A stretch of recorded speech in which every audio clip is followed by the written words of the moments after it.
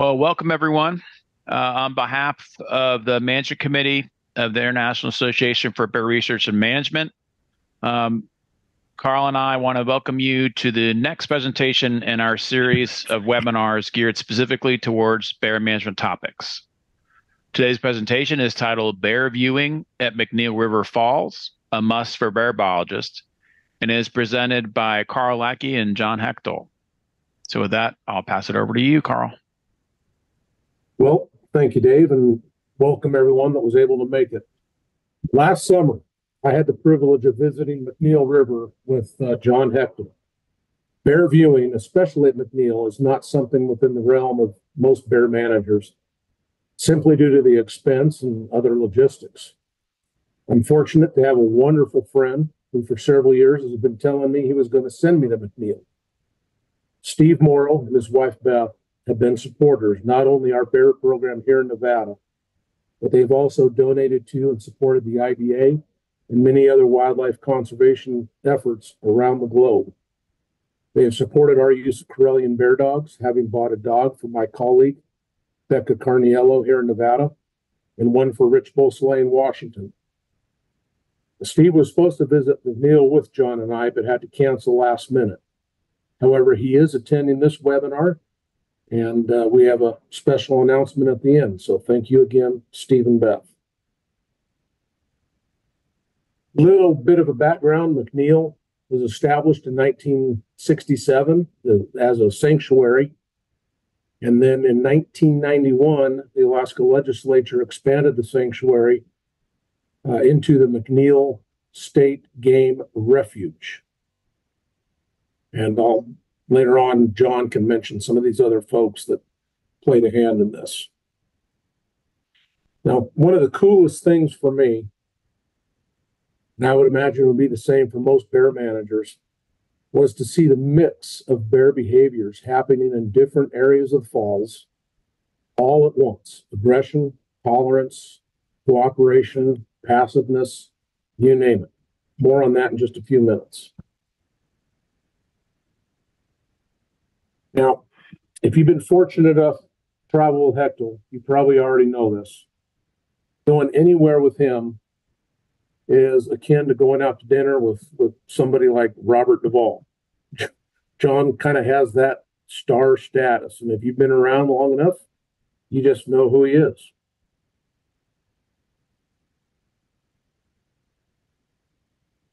Okay, just a little perspective on where McNeil is.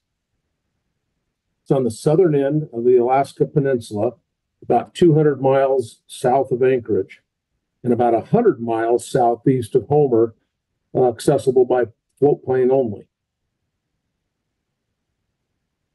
The camp at McNeil sits at the mouth of McNeil River, right next to the sound spit, uh, sand spit, sorry, that shelters McNeil River Cove.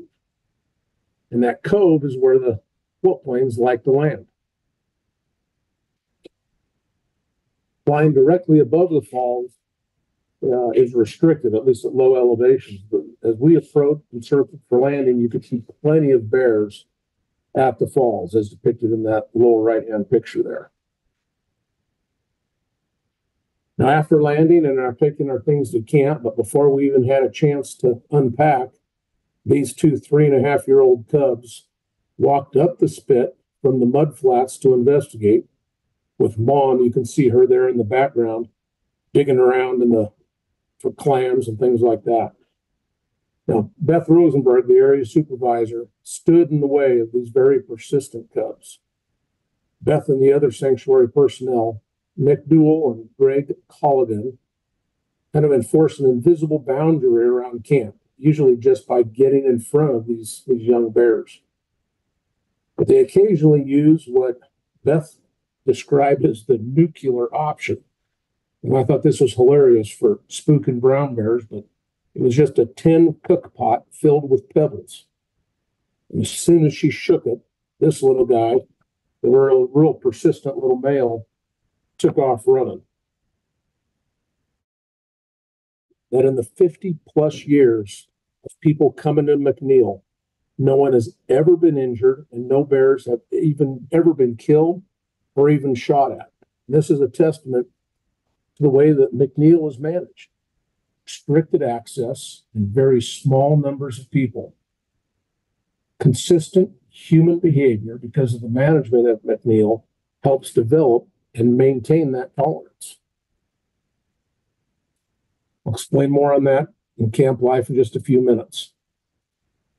So we hiked, hiked to the falls each morning, starting around nine o'clock. Not an early morning start by any means. It is roughly a one and a half mile, one way, very leisurely walk with an elevation gain of about 20 feet, give or take. Hip boots or waders are mandatory. We are walking by bears or vice versa the entire trip, which took almost two hours to go that mile and a half. Now, not only because we were pausing for bear photos along the way, but because we proceeded slowly through the uh, the alders when you get closer to the falls. Uh, going through those alders real slowly, pausing occasionally just to prevent spooking any bears.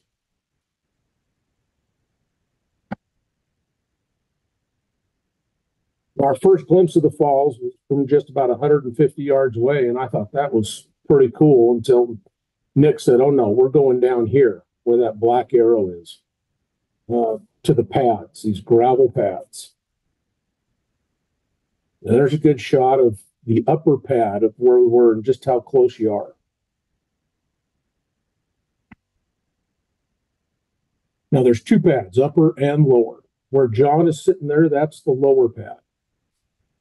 And you look at that picture on the right and you can see the people on the lower pad. I'm taking that picture from the upper pad. So one just sits right on top of the other. It's not uncommon for bears to use the same path as we were, using the using to walk in between the pads. And this one is just sitting right next to us, a few feet away, watching the other bears fishing, just like we were. And just just for perspective, that first little stream out in front of us was 17 yards away from the uh, from where you're sitting there in that lower pad.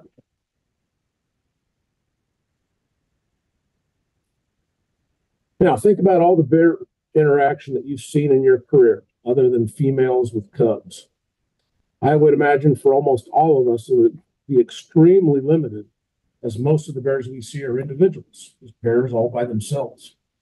Now think about watching 30 to 40 bears interacting with each other for six or seven hours a day, and with bears as close as two to three yards away from you, out to about 100 yards and all while sitting there relaxing in a lawn chair. Sounds crazy, but it sounds like a heck of a good time to most of us. Now, are these bears habituated to people? In a way, yes, but as John put it, there are levels to habituation. Some are tolerant of people and some not so much. The lure of the food makes them more tolerant than they may really be. It was as if we didn't even exist. Some of these bears are new to the falls, and I asked this question while we were there. They act in a way that I assume means they are taking cues from the other bears, the more experienced bears. These newbies may stay on the opposite side of the falls for a while, but that's still only 100 yards away. Eventually, they come in and get closer and closer. Now, the coolest thing for me was, was to observe all the different bear behaviors and fishing techniques and knowing that this is exactly what they would be doing anyway, regardless if we were there or not. Now, for future reference, you can click on that YouTube link there. It's an older video, but it's, it talks about bear behavior. It was made by a guy in Alaska, so it's pretty good. Tolerance between the bears and sizing each other up is common. And even though these guys have fresh bite and scratch wounds, we never really saw any serious encounters. Just a lot of posturing and vying for those good fishing spots. Obviously, these confrontations do regularly end in physical contact, but more often than not, uh, jawing, like these bears are doing, vocalizations and subtle head movements serve to diffuse the situation, most situations. And when I say you will observe hundreds of bear-bear interactions on a trip to McNeil, I'm talking about all these subtle interactions between individuals. Beth described this perfectly when she said these subtleties, like putting their head down, eye contact, jawing, or sidestepping, are all indicative of rank and hierarchy, both establishing it and consistently reinforcing it or being subjected to it. As for fishing techniques, mutual tolerance is easily the most common behavior we observe. It meant being able to fish in a preferred spot without getting injured. Much of it tended to be bear specific, or a lot of it did, much like these guys, these two who tolerated each other at very close distance. But that wouldn't necessarily translate to other bears of similar size. They would only allow a couple of different bears to fish in this spot. As soon as they walked up, other bears just left. Stealing fish was another technique, or at least trying to steal.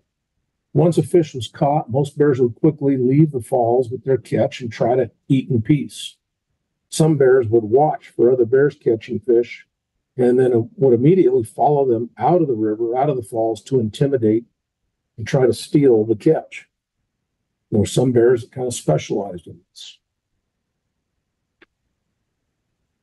And then there was begging. This guy had the begging technique down. He would army crawl, start at about 20 feet, 30 feet away, and army crawl up to other bears, many of which were a lot larger. And then he'd just sit there a few feet away, a couple feet away, until when it seemed the bear with the catch would simply get annoyed enough that it would just drop what remained of the fish and walk away. We watched this bear do this a lot. Then snorkeling. See that bear snorkeling there. Here's another good video of a bear snorkeling. Not all bears would snorkel, but it seemed to be the preferred method for a few. It made me kind of think, are these fishing techniques learned or something like this taught? I don't know. But it was very interesting to watch bears do this. Now, I only saw this one bear using this technique, diving, at least for more than just a few seconds. This guy comes up right now. This guy would be underwater sometimes for over 30 seconds, 45 seconds.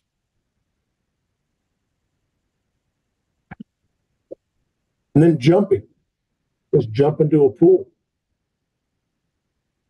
this seemed kind of like a, well, here I go, hope for the best type of fishing technique. It didn't seem to be very productive, but we did see him catch fish occasionally.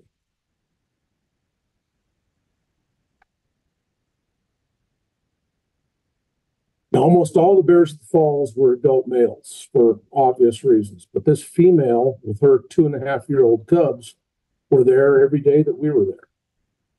The cubs acted like young little mobsters, their, their power being in the protection they had from mom, and because there were three of them, they could kind of stand their ground, and they pretty much dominated this little corner of the falls the entire time they were there. Power in numbers. Now, if they were the mob, this guy was the kingpin. Beth and the crew named him Chops, and they estimated him at 1,400 pounds he'd be a candidate for winner of Fat Bear Week if he was at Brooks Falls, for sure. It was very interesting to watch how the other bears reacted to Chops. He would take off downriver occasionally throughout the day, following this one particular female. Can't remember her name. He'd be gone for a couple hours. But as he returned, the others would turn and watch him, even though he was still at times a couple hundred yards away, downstream. I doubt they could smell him. Then as he got closer, they would just move like oil and water. This guy was definitely the, the kingpin. Uh, this is a just an interesting shot I got of this is the begging bear that specialized in begging. I'm not sure what he thought he was doing here. but he stayed in this pose for a solid minute, just frozen. I was waiting for him to reach out and kind of smack the old dude on the butt. It never happened. Eventually, he just backed off.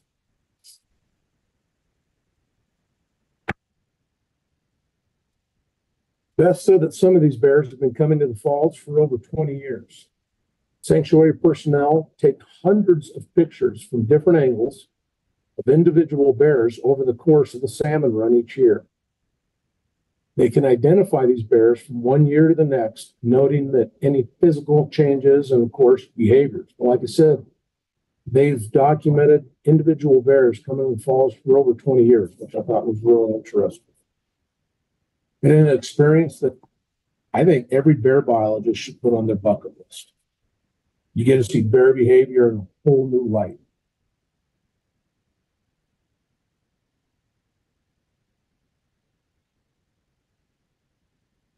Now, there are other viewing areas that may be easier to access, like Brooks Falls. Well, obviously, one of the main differences between McNeil and Brooks is at Brooks, access, viewing, and the numbers of people are not restricted. It's not uncommon to see a line of float planes like this. You would never see this happen, like this guy walking out into the falls. You'd never see that at McNeil. So, a little bit on the permit process. Just getting a permit is difficult, especially if you're not an Alaskan resident. They award permits through a lottery system only, and only 185 are issued each year. each permit is for a four day slot, and there's a maximum of 10 people for each of these slots with some you can you can actually get a permit for for standby. On all, and, the, and normally these permits are not transferable. That's the reason when when Steve couldn't make it, um, no one else could take his spot.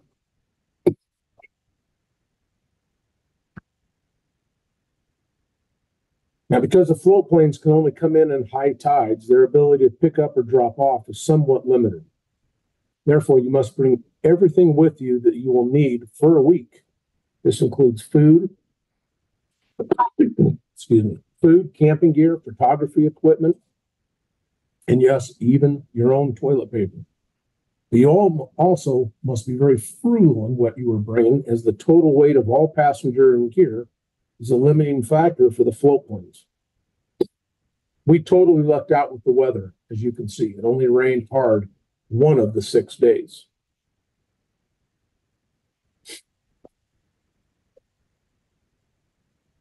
Let's give you an idea kind of the, the camp layout. the outhouses up there in upper left, staff house, the uh, some of the tent sites, the cook cabin, but off to the right there where you can't see, there's many more tent sites.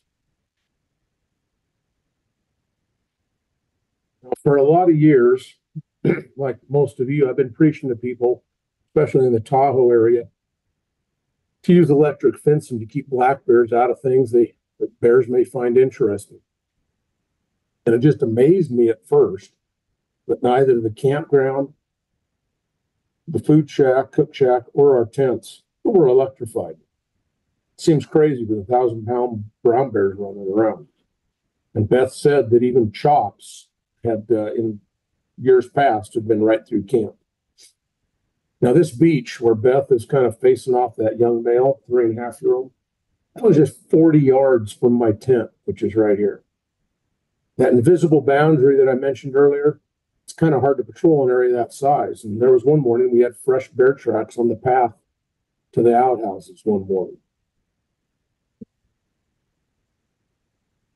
Well, speaking of outhouses, there's two of them. And of course, like any good humored biologists, uh, McNeil personnel decorated the outhouse walls with all the Gary Larson cartoons about bears eating people. Well, McNeil is not without luxuries. Here's a couple photos of the sauna. Uh, Beth or one of the guys would heat that big 20 gallon pot on top of the wood stove it up with the water from that little pond outside the front door. Take a couple hours to heat up, and then you could go in there and bathe and get cleaned up while enjoying the sauna. One of the many luxuries. Now, the cook shack is equipped with gas stoves and an array of cooking pots and utensils. But if you go, you need to bring your own plate, bowl, and utensils to eat with. Because again, because of the weight restrictions in the float planes, most people bring freeze dried meals, snacks, and drinks. But you got to keep you got to keep in mind you got to bring enough for a week. John and I splurged one night and we had chicken chicken quesadillas and a glass of bourbon. Now the cook shack was also a gathering place as well. We met some very nice and very interesting people, like Matthias Breiter. If you look him up, he's a world-renowned photographer and biologist who helped me figure out my uh, borrowed camera. And then there was Carol, Carol from Tennessee. John will remember her. Her and Hechtel argued over, of all things, who had the biggest whale lice in their collection. I never knew it was such a thing, but they both had a whale lice. They wanted to know whose whose was biggest. Now, I'm not sure who won that argument, but in the end, Carol now has dibs on John's skull when he dies. There you go. There's other lots of other wildlife to see at McNeil too. There have been several sightings of a gray wolf just prior to us uh, getting there. We never did see it though. But there are river otter, beaver, seals, fox, and lots of birds, including eagles. Kind of a wildlife photographer's dream spot, really. And of course, bear photography. More bear photography opportunities than you can imagine. And this was going on constantly, even while, while you were at camp you could walk out to that edge there on the spit and, and uh, take photos of bears out on the mud flats. And a lot of this was happening less than just a few yards. This guy's walking up the path right now where where we would walk in between the paths.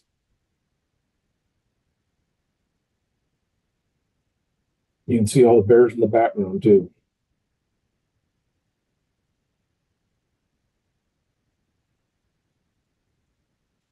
So now, if you want a chance to go to McNeil and support IBA, and at the same time, um, you only have a few days left to buy raffle tickets.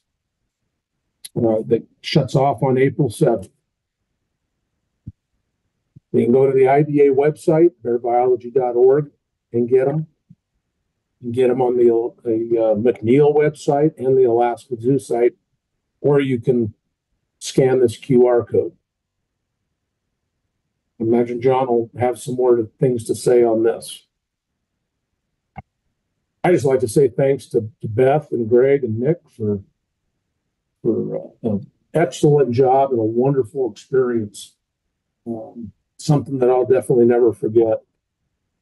And of course, thanks to John and then Stephen Beth Morrow. Uh, and with that, I'm going to pass it over to John, I'll quit sharing here. That's that's John's size 14 boot print. And this is out in the mud flat, so that's not even a big bear.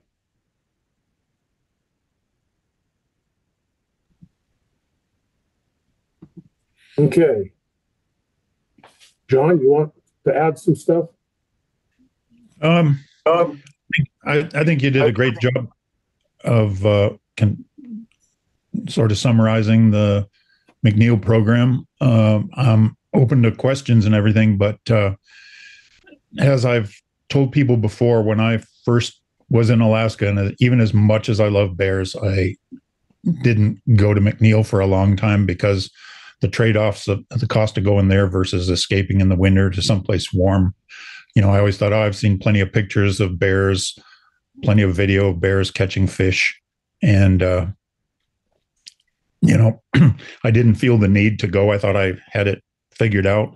And when I first went there, I thought, I can't believe I haven't tried to get here as often as I possibly can. It's a it's a fantastic experience. It's a wonderful place, even without the bears. It's semi wilderness, but not really roughing it. Um, you've got beautiful setting, beautiful sunsets, bears around all the time, other critters, and uh, but as Carl mentioned, one of my things is I've seen a lot of people and biologists over the years who interact with bears in very specific kind of situations, uh, such as catching them in a trap, darting them out of a helicopter, and then just uh, nowadays even just looking at your screen and getting the GPS locations coming in, and not having the time to develop a feel for bear behavior, body language, starting to understand them. And I think, you know, I mean, I know some bear biologists who are probably would be afraid if they bumped into a bear in, in situations outside their comfort zone. And I think, you know, I'm a strong advocate of biologists having naturalist skills and being able to be good observers and have chances to watch bears interacting. And as Carl said, the amazing thing about McNeil is it's pretty much you're pretty much seeing what would be going on if you weren't there. Um, there is a little bit of impact of the human activities for sure. You know, there are some bears who stick close to the pad where the people are because other bears avoid it. But most of our impacts are pretty subtle, and you get to see an incredible uh, variety of of behaviors.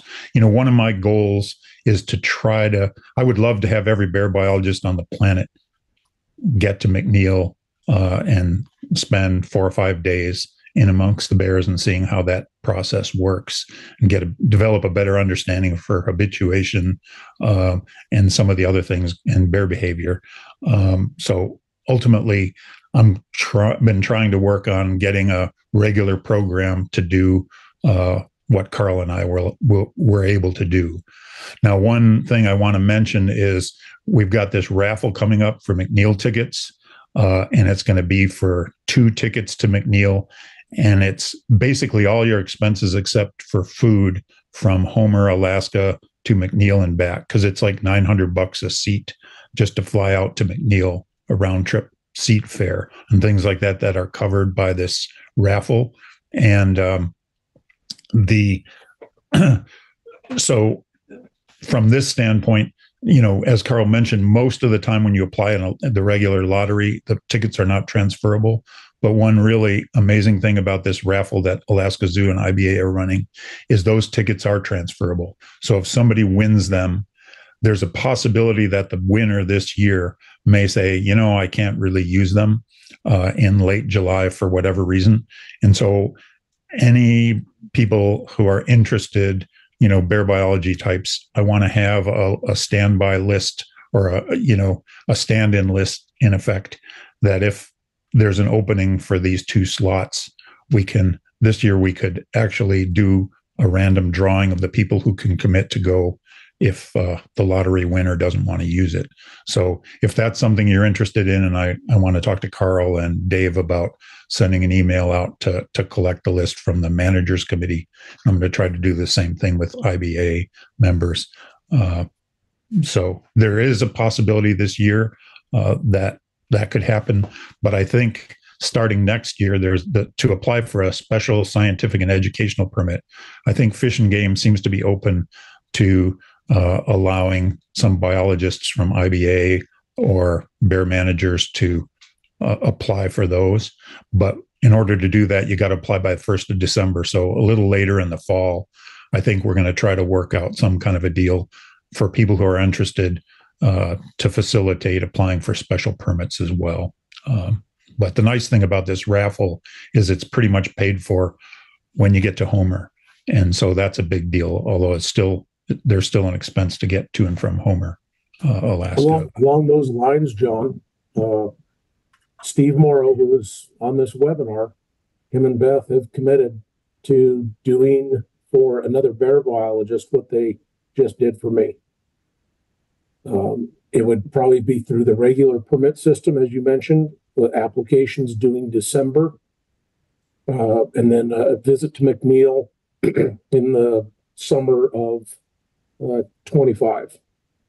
But they want to kind of do what, the, what they did for me an all expenses paid trip uh, to Anchorage and uh, Homer and down to McNeil and uh, that whole bit. And uh, I think what all we need to do is decide uh, how we will end up choosing that person.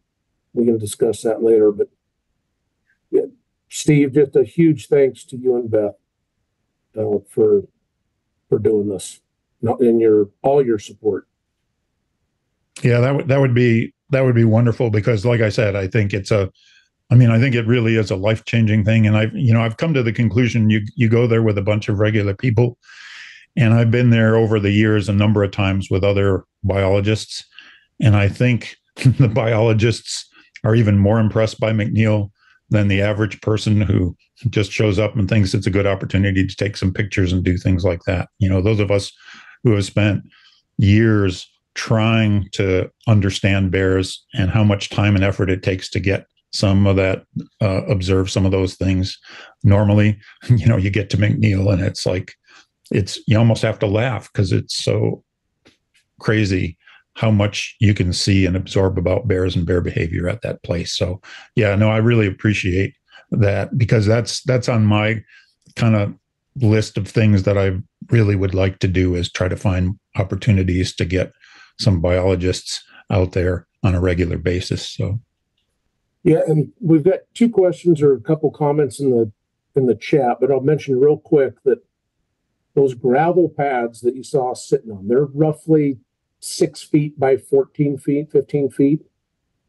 And there's five or six of us sitting down in lawn chairs side by side. And you've got the the coolness of the weather we were fortunate we had some sunshine. Um, and you've got the white noise of the falls constantly, just the roaring of the falls. And it's not um, it's not uncommon uh, to take a nap. yeah, Beth at one point told me just to lay down. She she said, "Yeah, just lay down over there." And you're late. Uh, keep in mind, they keep they have the bears or they keep the bears off the pads, but they're allowed right up to it. So they can walk on that grass right up to the pad. They're not allowed on the gravel. And when we, the very first day we got there, Nick reached down and grabbed some little penny sized pebbles and put them in his pocket. And I just looked at him. I said, "That is that for the bears?" He goes, "Yeah." He stands on the on the upper pad and just kind of keeps keeps view, but uh, if a bear acts like it wants to get on on the lower pad or come up on the the upper pad, he just tosses a pebble at it and hits it and says that's all that's required to keep bears off of there. And I I thought I put it in here, but I failed to do so. But Beth had sent me a picture of her taking a nap on the upper pad, and there's and people are taking pictures because there's a bear a couple feet behind her uh, eating on a salmon, and uh, she was snoozing. It was a great photo. Dave, you want to handle the? the yeah, chat? that's awesome. Yeah. So, um, uh, the question from Rachel says, "I'm curious about the human habituation aspect. What was it like for you from day to day?" Why don't you answer that? Because you you talked to me a lot about about habituation. Um, you know, I've been doing this stuff for a long time and and our attitudes in the early days, you know, back in the 70s and 80s, you know, the emphasis on you know, and, and in a lot of places that aren't very well controlled, you know, bears are pretty willing to habituate to the presence of humans. It's a, just a natural response to anything that they're exposed to on a regular thing. But the concerns have always been as soon as they start to habituate to people, they increase the probability that they're going to get hooked on food and exposed to human food and garbage and it sets a whole nother thing in motion so for a long time you know a lot of biologists said habituation is bad or even dangerous uh, to humans in in a lot of contexts and the interesting thing about mcneil uh, is it shows that sort of tolerance that bears have to humans and human activities, having grown up, you know, even the 30 some year old bears, their entire life, they've seen this parade of 10 people to and from the falls or at different places. They, they've seen the consistent behavior and the lack of food and garbage available around the camp and things like that. And so uh, they've gotten used to it. The one thing, and like I said, from a bear biologist standpoint, that's interesting is the life history of bears is young bears with the female almost everything is directed by the mother and some adult females are really good at navigating in and around humans.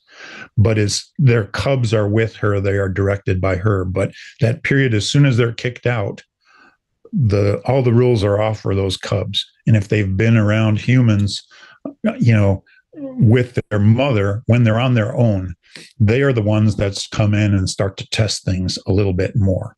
And throughout the life history of bears that's always been a strength because that's what's allowed bears to exploit new habitats move into new areas and do things like this this testing phase where they go in and all the rules are off. When these bears are around people and they've been habituated that there is a phase in there where they have to learn the rules all over again the the because things have changed from when they were with the females. So that's where there is an interesting aspect of habituation that you know occurs in that period. And we've jokingly kind of called those young bears hooligans um, as what we've called them over the years. But where they are a little bit pushy where they're a little bit testing things. And the other thing that occurs is some of the bigger bears, there is a bit of avoidance around the camp area. And so this is an area devoid of the more dominant bears. And that can also be a reason why those young bears kind of start to crowd the camp limits a little bit. So, you know, in general, on your day to day experiences, you're, you know, you're moving through areas. And the other thing about it is the staff are very good at not disturbing the bears. The whole purpose of McNeil isn't to have a bear viewing photography experience. It's to protect the congregation of bears at the falls. And everything else is secondary to that. So all the viewing activities and all the things, and even walking to and from the falls, we give bears the right of way. We give them a lot of respect and space and we don't you know we do things very consistently. So um, that helps that whole habituation thing. And you know like i said but the flip side of that is is you know you respect the bears and you give them that but you don't you make sure the bears and especially those young bears also learn to respect humans yeah, so John, that Rachel was clarifying, like, how about you and your habituation of being near bears from day to day rather than the vice versa? Oh, okay, sorry. Yeah, and Dick Dick has a comment on that. Dick wanted to answer that, I think. My my raise hand option doesn't work, so but uh, that's a real interesting question, Rachel. And uh, I guess first of all, I would have to say that just by way of support for for this um, program you really you see all the pictures you see all the movies but it's not when you really get there the whole thing just hits you very very hard about what an incredible place this is. And i can't emphasize that enough that even though you may not be that interested originally in mcneil you'll never forget it once you leave. And so, um, just as kind of support for what both Carl and John have said, I've been there twice, luckily. Um, but anyway, I, the the for the first time I went, I was an employee for Fish and Game, and John and I went out there to kind of back up some folks that were on vacation and and uh, be guides. And uh, it certainly was there was a level of habituation that occurs fairly fast, actually from my perspective, John had been there before I did, where you start to really get comfortable around the bears and your expectations of uh, potential conflict drop quite a bit. Um, not that you're ever just totally free, but you, you know, you it's a whole different experience. The second time I went there, my wife and I were drawn, and my wife, who was was, was probably still is afraid, very afraid of bears. Um, was real nervous about what was going to happen. Um, the staff are excellent in kind of dropping down that, lowering that fear level. And I have a great picture of her taken on probably the second day because I think we had sun that day. She's standing um, on the edge of the pad with an adult male or sub-adult male named Ted. Ted, literally sitting next to her. If she reached her hand out, she'd be able to touch him, and the smile on her face is is really tells the story. So people go there and they're always amazed uh, when they when they get there and when they leave at the difference in their response to these bears and their attitude towards bears in general. So it definitely occurs, and it occurs really fast. Um, I mean, within probably by the end of the first full day, people are starting to really relax. People that were very, very frightened of bears to begin with, and so I think that that habituation by people is a really strong element of this. We don't really talk about that as much, but I think it is a critical uh, critical critical thing for people to discuss how your attitudes towards bears will change so quickly when you're in those position when you're in that position on those pads and walking back and forth. That's that's it. And i would i would add to that i, I definitely I've, I've been to mcneil a lot over the last 40 years and worked there and in different contexts. And when i even when i knew it fairly well when i would first show up every year there'd be a little bit of a period where I had to kind of recalibrate in effect, you know, my attitudes and my my interactions with the bears.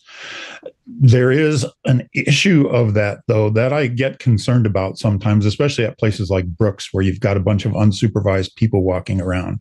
And I think there's a danger of getting complacent uh, you know, as well when you see these things, and you have to be you have to be in situation. You have to, you know, especially as a biologist and or people working at the place, to not just take it totally for granted that you can do anything and get away with anything and the bears are okay but but yeah there's a process that occurs and it reoccurred every time i went back there the biggest the most kind of risky or concerning things that were when I was working there leading was I was up at the falls one time and there were two big males fighting right, right next to the pad. And I wasn't as worried about the danger to us as the fact that they paid so little attention to us during this particular fight that there was a chance that if it spilled over onto you know it could spill over onto the pad and that kind of thing was the, the, an issue. So there is there's there's a lot of things going on in this place and a lot of fodder for discussion. And probably one of the best times i ever had there mike proctor uh, kate kendall from glacier and karen noyce from uh, minnesota all biologists were there when we were there. And to actually get to s- talk to other biologists while you're watching the bears and discuss these things is really really uh, interesting and fun so um, but anyway, the habituation on the human side definitely happens. There are people that come up there that were afraid that I've seen change, but like I said, uh, it's it's a it's a phenomenal place. I mean, I can't say enough. It's probably one of my favorite places on the planet. So another question was, uh, how does McNeil compare to Katmai? So whoever's done both. I I've done both, and I've been going to both Katmai and McNeil since the like 86 i went to both places. At the first time and i've watched them change and evolve. And when i first went to katmai there was a tiny little platform up the falls and they've kept putting more boardwalk and more uh, infrastructure there lots more people coming through. Uh, and i like mcneil for the bear bear interactions and ability the Katmai, I actually I'm interested in there from the human bear interactions is what interests me and watching that because it's a lot less controlled. There's unescorted groups of people wandering around. I've seen things at Katmai that scared the heck out of me, where I thought there was going to be a problem. Um, but it's a it's a totally different experience. There's a lodge right near the mouth of the river. Um, they've even got lawns around the cabins because it's a private lodge that draw the bears in. And there's this ridiculous show of the bears coming in to try to graze, you know, the staff trying to chase the bears away when if they would just remove the lawns, it would do a, a lot. But it's it's a totally different thing. As Carl's picture showed, there can be 20 float planes all lined up on on the beach. There can be bears walking down the beach. It's it's fascinating place also, but a really di- totally different experience. And I mean, if you have the ability to go to both, it's a it's a it's a cool contrast. But uh, honestly, uh, they're both okay. But it's the McNeil experience is is such a different thing because, like, even at the falls, uh, Brooks Falls, there's a, can be a waiting list or, or, a waiting line where you have to you know they limit the amount of time each people are on the platform and rotate through and do things like that. So um, if you want more information you can uh, i'm happy to provide it but but in general it's a it's a really different totally different management approach. And um, the there's i think there's less concern about the you know i, I i'm I actually think that the impacts of human visitation at Brooks, you know, there's still a bunch of ultra habituated bears that seem to not be caring, but especially with the Fat Bear Week uh, publicity, it's it's even increased already large crowds, and there's more and more air charters that are bringing people up just for the day and things like that. So they're very very different experiences, but both fascinating for a bear biologist, no question about it. There any uh that's it for the chat as far as questions. Are there any uh questions out there? If you guys want to raise your hand, unmute. Feel free.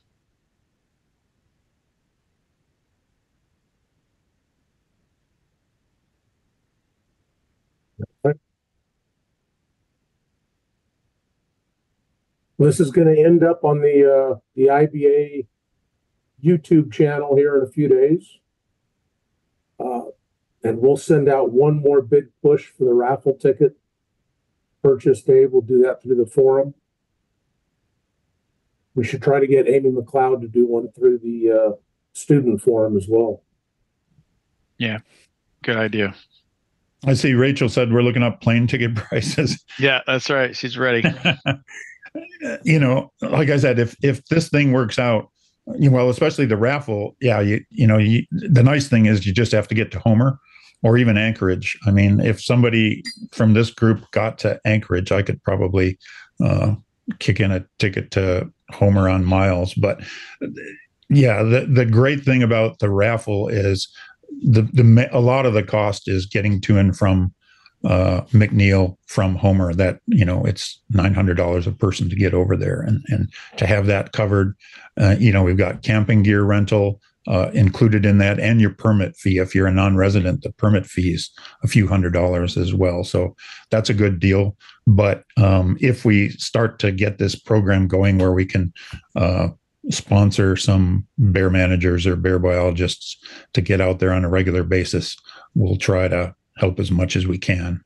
Uh, so yeah, we went out on the on the SciEd scientific education permit, which was a little bit different process than if I was just to, try to go on my own with my family.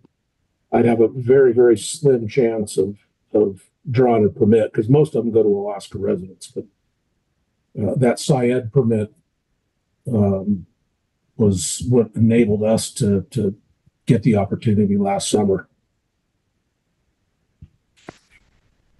And um, you know, the SciEd permits. You know, I mean, it's a it's a.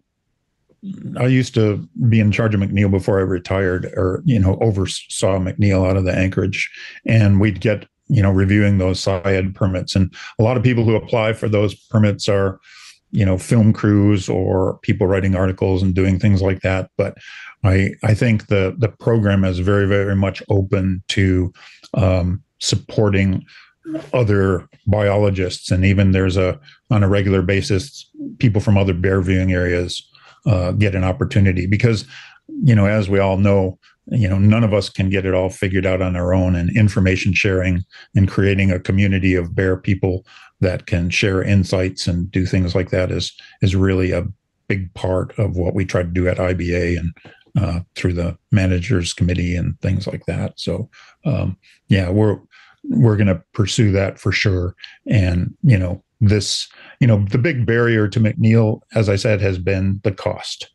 You know, to get to and from there, and I think we can work on the SciEd aspect of it, and with some additional support and things like that, I think, I think we can get a really excellent program going. And and uh, as I said, I I guarantee you, you know, if you've been working on bears and are interested in bears, it's a trip to McNeil is something that will make a huge difference in your understanding and attitudes. And it's a once in a lifetime thing for a lot of people that that's what I used to say. It's a daily once in a lifetime experience when you're there.